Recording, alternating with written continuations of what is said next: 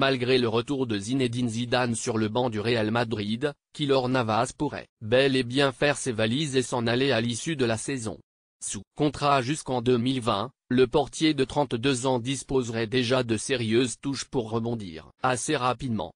La prochaine destination de Keylor Navas déjà connue Ce mercredi, le média espagnol, ABC a révélé que Zinedine Zidane aurait décidé de faire de Thibaut Courtois son titulaire, indiscutable dans les perches du Real Madrid pour l'avenir. Le coach des Merengues aurait ensuite signifié à Keylor Navas qu'il a le choix entre accepter un rôle de remplaçant ou s'en aller lors du prochain mercato estival.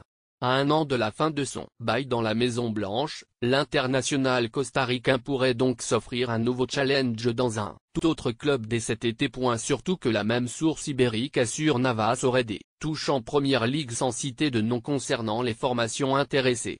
Arrivé en 2014, en provenance de Levante, le natif de San Isidro de El General pourrait donc décrocher. Un dernier gros contrat s'il prenait la résolution de quitter Madrid pour rejoindre l'Angleterre, la direction du RIL ne devant pas le bloquer en cas d'offre jugée intéressante.